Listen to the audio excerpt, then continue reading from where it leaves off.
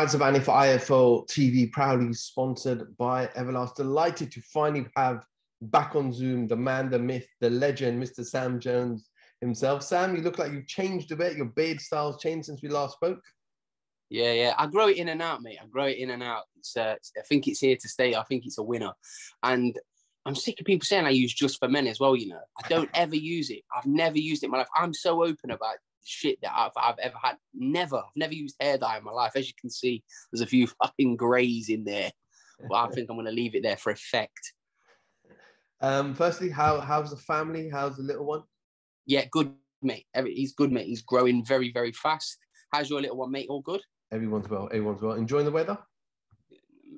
Not particularly, mate. I, I need you, you, need a swimming pool for like. I mean, it's meant to be 40 degrees next week. I don't want to be one of those people that like moans about hot weather, but 40 degrees is, is, is by far too hot. It's no, thank you. But it is what it is. Only for a couple of days. Everyone will be fine. Drink some water, stay indoors, and you everyone will be fine.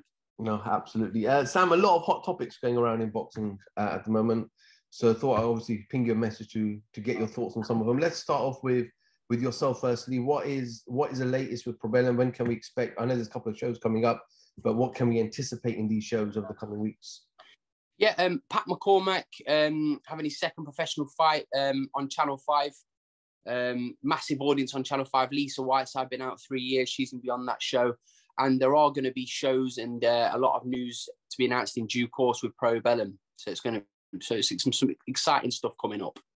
Are you are you enjoying enjoying what you're doing now compared to kind of S Jam? Uh, when you're doing S Jam, you're almost winding everybody up with your antics and the way you was as a person. But are you enjoying this side of, of boxing?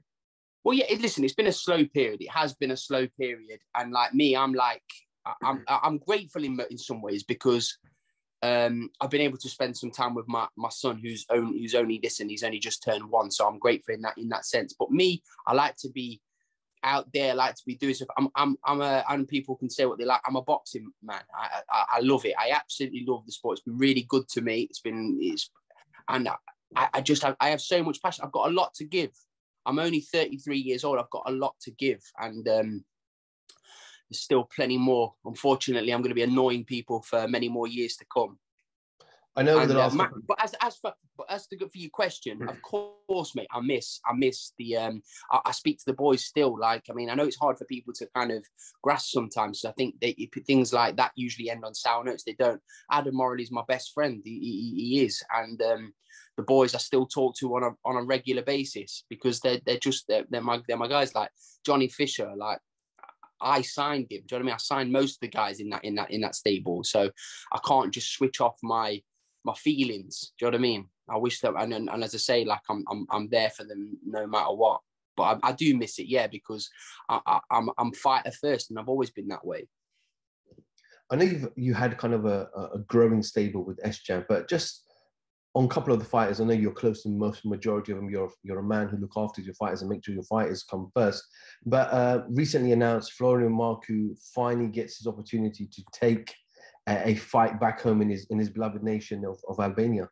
Yeah, yeah, I'm very happy for Florian. He's been wanting that for so long. I mean, I had a I had a good relationship with with. Uh, I mean, listen, me and Adam have done a great. We we did a great job for Florian. He was out. He was active. He was fighting on different platforms at one time. One one time he was fighting on BT. Then he was over on with Eddie on Sky.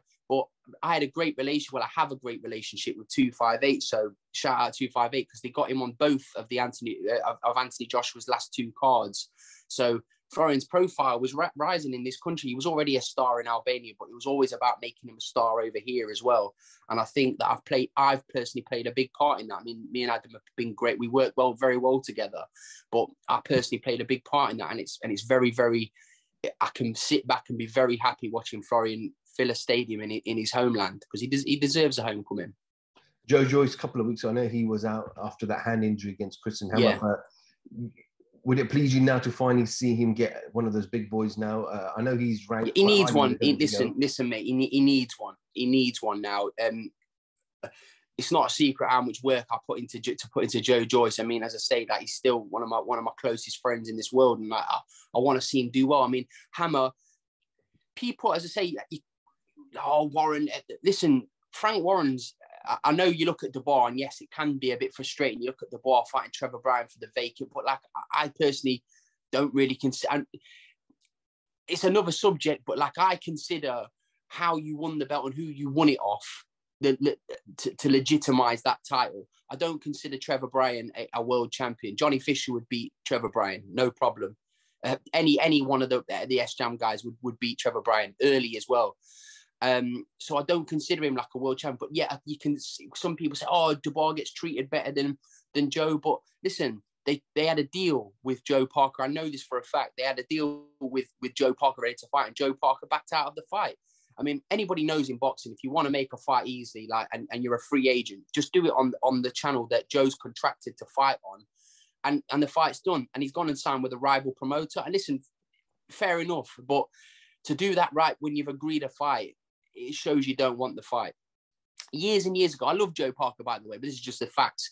But years ago, when Joe was training at David Haye's gym, Joe Parker was preparing for Anthony Joshua there. He was there ages before the fight, and we offered him free sparring. Do you know what I mean? Free sparring from um, is hard to get. Never mind paid sparring, but free sparring is is is is priceless. He didn't want to spar Joe, so I always known he never want to fight Joe. Never. He never wants to fight Joe, and I don't believe he ever will fight Joe unless it's for a world heavyweight title. I just don't think he wants any of that Joe Joyce smoke.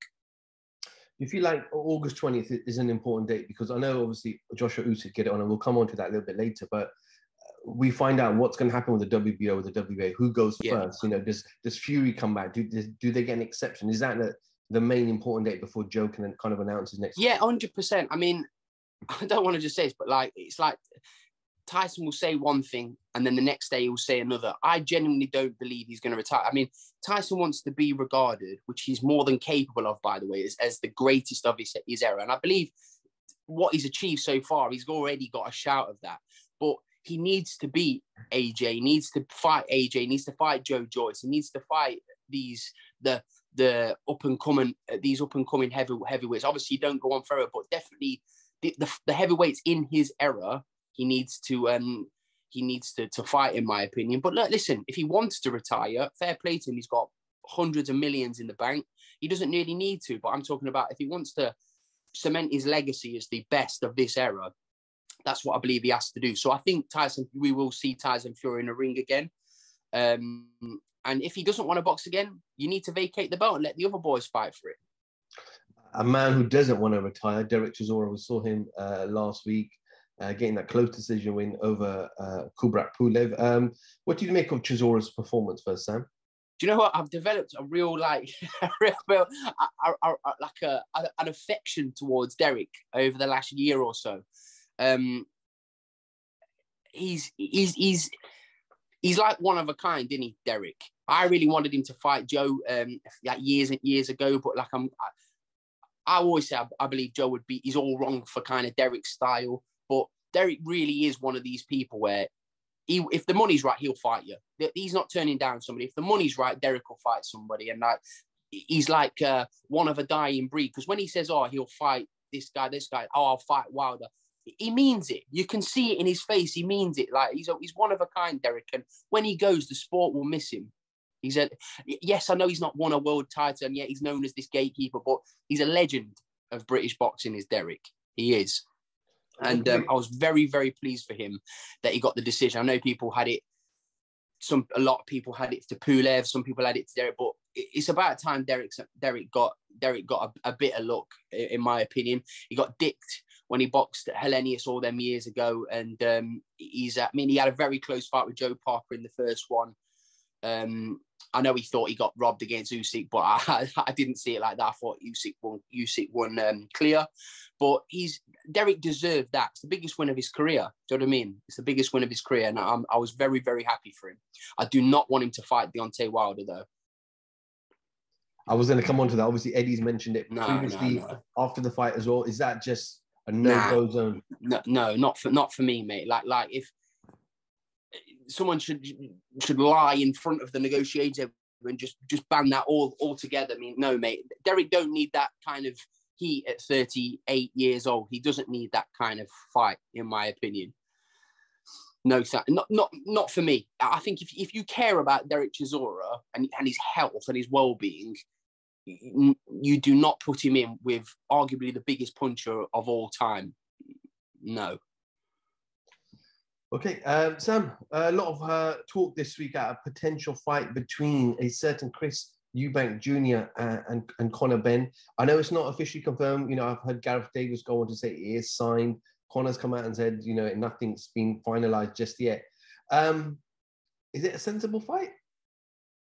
See, right, I I said this fight was done a while ago before Gareth A. Davis said this. I I said this, but like I've heard it's been almost a done deal for a while now. I don't know. I, I, I'm hearing there's an announcement next week.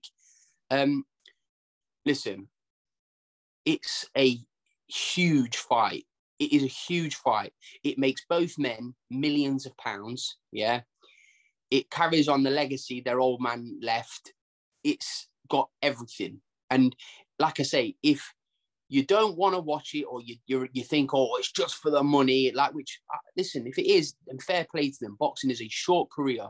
Earn while you can. Do you know what i mean? Like like it's a great fight. It's a great it'll be a great spectacle. And believe me those tickets will sell out in seconds. Because i've said i'll be asking eddie and frank uh, frank smith for a freebie and hopefully they'll give me one. But if not i'll buy a ticket because i want to see this. I really want to see this. I've heard Conor's doing really well in sparring against bigger men, and he's he's he, you only have to see Conor's improving. I've been a big like not not not like negative towards Conor Benn, but like you can't complain that of, of, him now. Do you know what I mean? Like he's gone, he's going up and he's fighting Chris Eubank. I mean, it's just a great fight, mate. It's a great fight. Chris Senior shirt, no sleeves on his shirt, uh, Nigel Benn coming in from Australia. You're gonna have Roy Jones Jr. at the press conference table. Mate, this fight's got fucking everything. I can't wait to watch it. Proper gas to, to, to see it all. I want to see the build up. I want it to be like the old HBO 24 7, the build up. I can't wait to I can't wait to watch it, mate. As a fan, I cannot wait to watch it. If you don't want to watch it, don't want to pay for it or whatever, just don't watch it then. So some of the criticism coming towards both Junior and Benn is Junior's talked about becoming a world champion. I know he won that IBO belt, but not many regard that as a legitimate world title, but he should be focusing on the elites of, of the middleweight division or, or super middleweight division. While Conor Benn, he, and I'll, I'll, come to Joe Gallagher's comments in, in a moment, but he hasn't even gone 12 rounds in his professional career yet, and it could be a very, very dangerous fight. I think he went 12 rounds once against Formella, didn't he? Correct. Was that once, or it might have been a 10 round? I don't know, but he done that 10. fight at a ferocious pace as well. If you watch that fight back, yeah. Formella's not an elite fighter. He's not really a world class fighter, but he's he's a good fighter. Do you know what I mean? He's not a bad fighter, and he's, and he's still. Um, are we what we're talking about? Joe Gallagher's comments. Yeah, a bit of both. Um, first of all, congratulations to Joe Gallagher yesterday. Great win with Mark Heffron. I was very, very pleased for Mark Heffron. I didn't think Lennox Clarke performed very well, but Mark Heffron performed out of his skin and he deserved it. Do you know what I mean? Three times. That was his third attempt at a, a British title. So fair play to, to him. And listen, Joe Gallagher is one of the country's greatest ever trainers, people like it or not. Um, even whatever's opinion, people's opinions on him is, he's one of the greatest trainers ever. Look, he's a serial winner, isn't he, Joe Gallagher? Serial winner. Um, but moving to his comments, I thought he was very unfair on on on, on his comments there because I mean people jumping up weight stuff. Natasha Jonas, I know I know it's a it's it was world title stuff, but she jumped up like two weights. Like, do you know what I mean? It was her first fight that weight. It's like it happens. You know what I mean? It happens. I mean, Conor Benn has is managed by Tony Sims. Tony Sims is, do you know what I mean? Cares about all of his fighters. You know what I mean? They're all like family to him. He's not going to put Conor Benn in a fight if he thought, oh, he could get seriously hurt. He would fan, he will fancy Conor Benn against Chris Eubank. Me personally, I think Chris Jr. is the favorite in the fight because if Chris Jr. had shown signs that he's a bit chinny, I would think, wow, Conor's got a great chance because Conor can really wallop. But Chris Eubank Jr. has shown he can be outboxed, but he's he's never shown once that he's wilted like with a shot or like like he's that's why I think the fight's so difficult for Conor. But saying that on the other on the other scale, the weight I'm hearing is 156 or 158. That's going to favour Conor, in my opinion because Chris Eubank Jr. has never made that weight. So it's it's it's a it's a massive fight. But yeah, but going to Gallagher's comments, I think he compared it, it to like, oh, we're moaning about YouTube boxing. Mate, come on, you can't you can't compare Chris Eubank Jr. and Conor Benn to fucking Jake Paul and what's his name, Gib, whoever he boxed on his debut, or like Logan Paul and KSI. You cannot compare. These are legitimate fighters. You know what I mean? With fight blood running through their veins. You know what I mean? Of who they're who they're from and like they're they're, both fighters at the end of the day, and and they're going to make millions of pounds. We can't begrudge them for that, and it's going to be a great spectacle. I really, I know I am quite across excited, but I can't, I genuinely can't wait for that, for that fight. Can't, cannot wait for it to all be announced, the press conference, everything. Really looking forward to it. I think it's good for the sport. You know, but yeah, so going going to Gallagher's comments, I do think he was very, very harsh. You know, Eddie's been trying to land a big fight for Conor, and he struggled because most of those big fighters are with PBC, and we know yeah, yeah. Eddie's relationship with PBC. We saw it recently when when he tried to make Chisora Kownacki, that that fell apart straight away. Um, did, was this Eddie's kind of only choice for Conor to give him land him a big fight? Do you know what it is, right? This is my personal opinion, being like people say, like I, I will just say it how it is.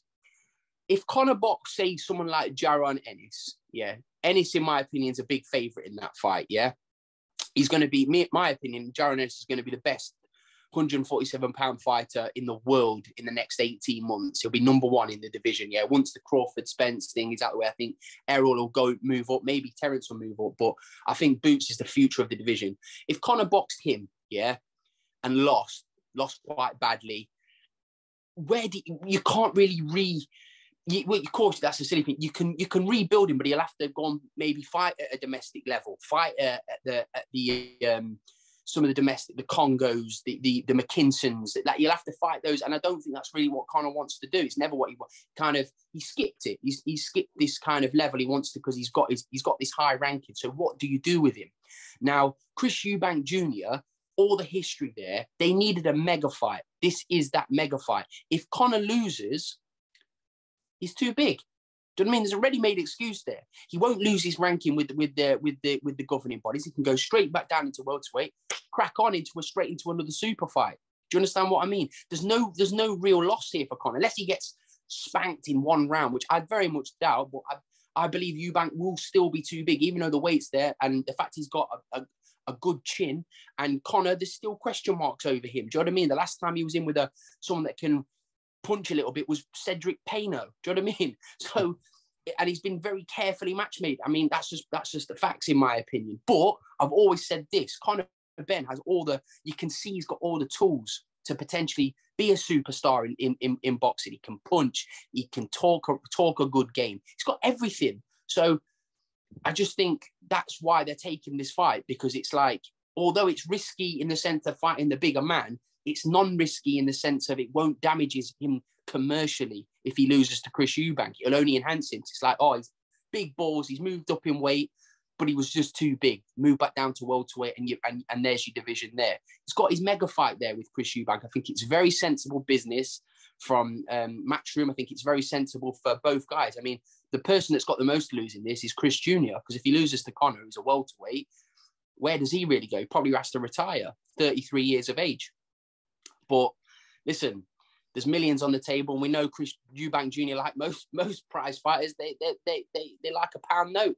So we can't begrudge them um, in this fight. But that's my honest opinion and my my view on, on that fight. And uh, but if you're if you're a boxing person, you cannot wait for this fight to start. The press conference alone is fucking box office, mate. I can't wait to watch it.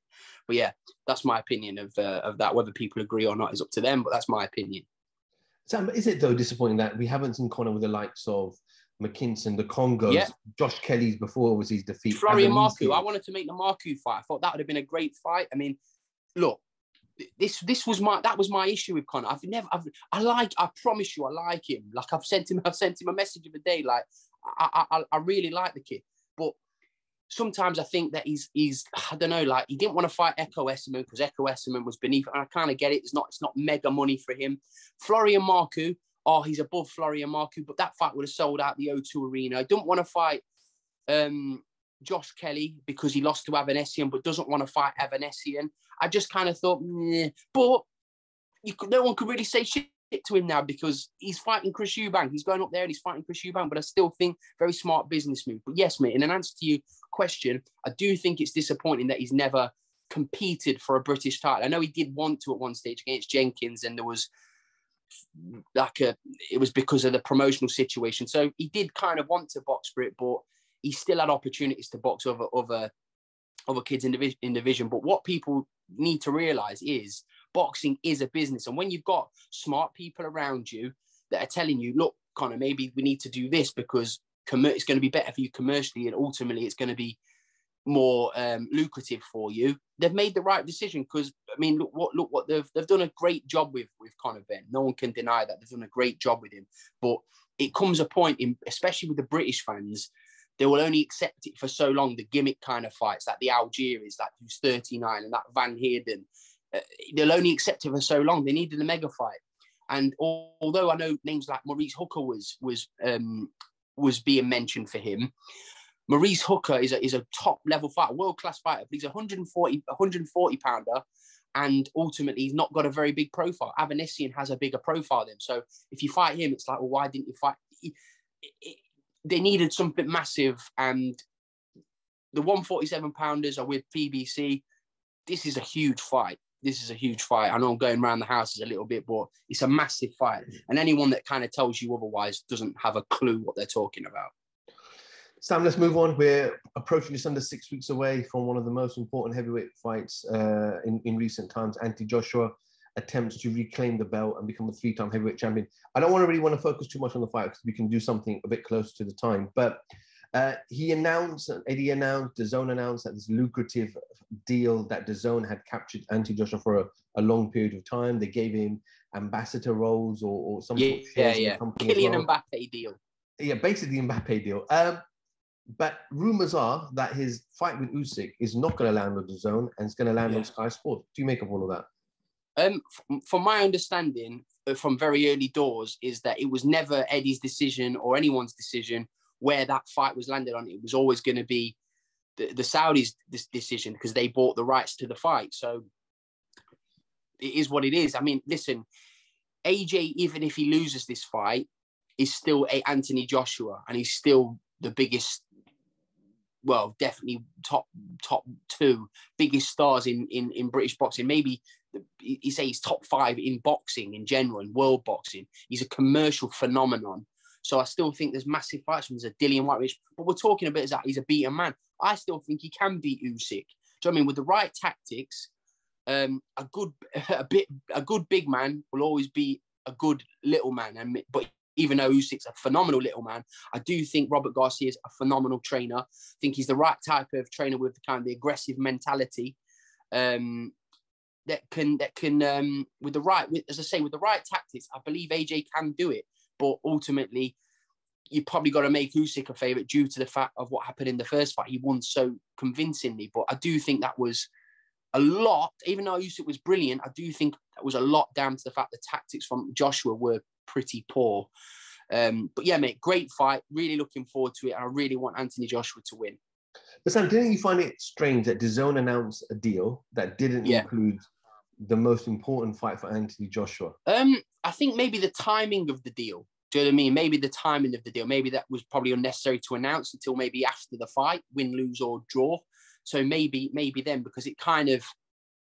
But it's like, even though Sky listen, it's good for Sky because they want the right. Listen, they want put they put it on box office and stuff. It's good for Sky, but like, why would you want to be so desperate to buy like a fight that you've got real no involvement with with AJ after the fight? Like, do, do you know what I mean? But that's just, that's just my opinion. They boxing's a, boxing's a mad place at the moment, mate. So I don't I don't really know, but ultimately Sky have got a huge fight on their hands. And listen, it's it's, it's a competitive market nowadays, and Sky have felt that that's the that's the the, the route they want to go down. They want to secure the rights. I know, and and and it looks as though I, I mean I'm not I'm not aware of whoever it goes on. I mean because I'd watch it on any fucking platform. It doesn't matter whether Anthony Joshua could box on fucking Babestation and people would still tune in to watch it. Do you know what I mean? It doesn't matter with AJ, in my opinion. He's already a his profile's already massive. It's not his profile can't really get any bigger in boxing. So you can see why he's took the DAZN deal because they've offered him the most money and but it's back on Sky. Yeah, boxing's a mad game at the moment, mate. It really is. But ultimately, it's uh, it's pound notes that count, and Sky's obviously bid the most, and so what if he? I mean, I don't, I don't know, mate. I don't know. I don't, nothing's been confirmed yet, but strong reports suggest that it's going to be on Sky. So, good luck to him. Sam, we've always said the more promoters, the more networks, the better for fighters. I just want to ask yeah. a lot of criticism recently. Obviously, we've got Wasserman Channel 5, we've got yourselves, we've got BT, we've got DAZN, we've got Sky. Um, a lot of promoters, a lot of channels, but a lot of criticism coming towards the shows itself. The cards are running things. The, the arenas are half empty. Yesterday, I didn't. It didn't seem like a big crowd on TV. I think Chisora did about five and a half thousand uh, yeah. last week. So, what what do you think is down down to? Is it is there too many platforms now? Are we going to complain that there's too many platforms? I just this is what I think. Yeah, there is a lot of platforms. Um, there's also like not so much elite talent and there's lots of kind of choices which is the reason why promoters having to pay up a lot more money which is great for fighters so i'm happy for the fighters on that front.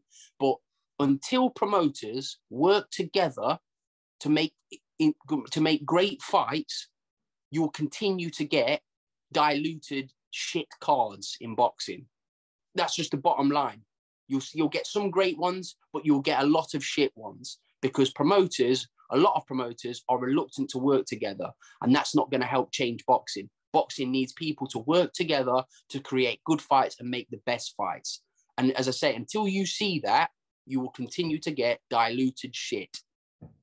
Sam, is it is it promoters or is it networks? You know, would networks allow you? It doesn't matter. It doesn't matter. It's a lot to do with egos. In there's a lot of egos in boxing. Yeah, you move your egos to the side and you do what's best for the fighter.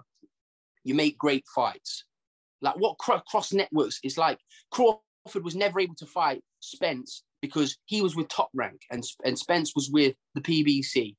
Do you know what I mean? Wilder and Joshua, he was with the PBC. We all wanted to see that fight, didn't we? Remember that time when Joshua come over here? Oh no, we'll do it on here. We just wanted to see the fight. No one cares about the politics involved. As a fan, you just want to see the best fights.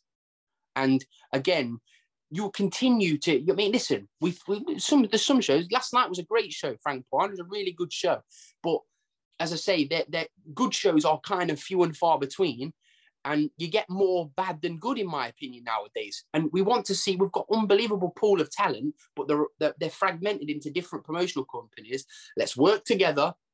And let's make the best fights possible for the fans. Sam, I spoke to Eddie Hearn uh, about 10 days ago and I asked him, was this the toughest period of his promotional career because recently, obviously, Josh Kelly left him. Um, Chris Billam-Smith is now fighting on Sky. Cody's putting out certain tweets.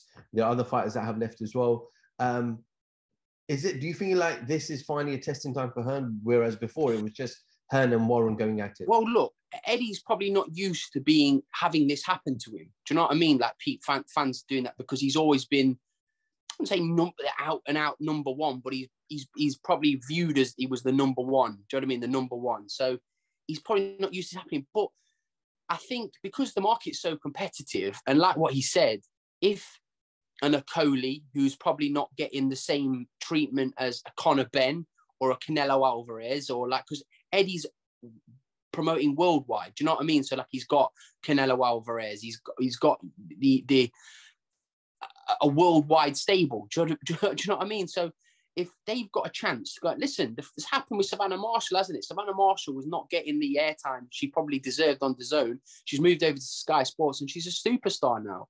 So, so listen, that's just that's just how it is sometimes. Eddie Eddie's probably not giving him the, the, the, the attention, but listen, if Eddie probably wanted to dig his heels in, he'd be able to keep the likes of Okolie or um, the Billam-Smiths, and no disrespect to like your Billam-Smith, but Eddie probably just doesn't care enough about that situation. So it's probably just see you later. Here's a hand. Here's my hand. And and God, I don't really know what's happened with the Okolie relationship because he's done like a, I believe they've done a good job for Lawrence Okolie, but Lawrence obviously believes that he kind of deserves more. And listen, boxing it is a short career. You've got to make brutal decisions sometimes, and Lawrence is clearly doing what he believes is best for him. And it, it is what it is at the end of the day. It happens. It happens in boxing. But Eddie's Eddie's continuing to do what he's doing. Frank's doing what he's doing on BT.